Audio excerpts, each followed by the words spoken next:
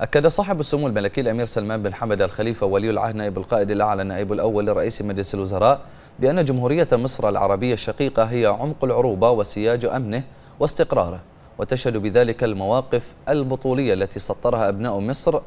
للذود الأبطال للذود عن العروبة عبر الأزمان المتعاقبة منوها سموه على الدور المحوري الذي تقوم به مصر في دعم وتعزيز العمل العربي المشترك بما يحقق الأمن والاستقرار في المنطقة. ونوه سموه بالتميز الذي تحظى به العلاقات البحرينية المصرية على مختلف الصعد وأهمية مواصلة البناء على ما تم إنجازه في مسيرة العلاقات الأخوية الوطيدة والتعاون المثمر بين البلدين الشقيقين بما يعكس الحرص والاهتمام الذي يوليه حضرة صاحب الجلالة الملك حمد بن عيسى الخليفة عاهل البلاد المفدى حفظه الله ورعاه وأخوه فخامة الرئيس عبد الفتاح السيسي رئيس جمهورية مصر العربية.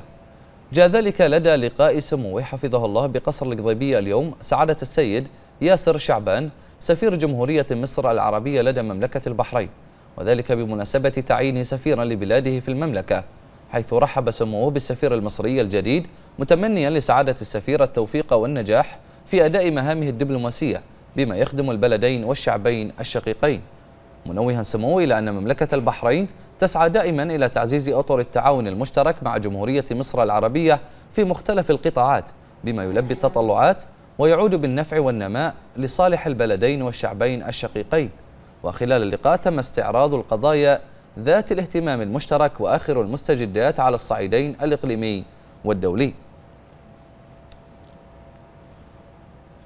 من جانبه أعرب سعادة السيد ياسر شعبان سفير جمهورية مصر العربية لدى مملكة البحرين عن شكره وتقديره لصاحب السمو الملكي ولي العهد نائب القائد الأعلى النائب الأول لرئيس مجلس الوزراء على ما يليه سموه من اهتمام بدعم العلاقات بين مملكة البحرين وجمهورية مصر ومواصلة تعزيزها بما يخدم المصالح المشتركة.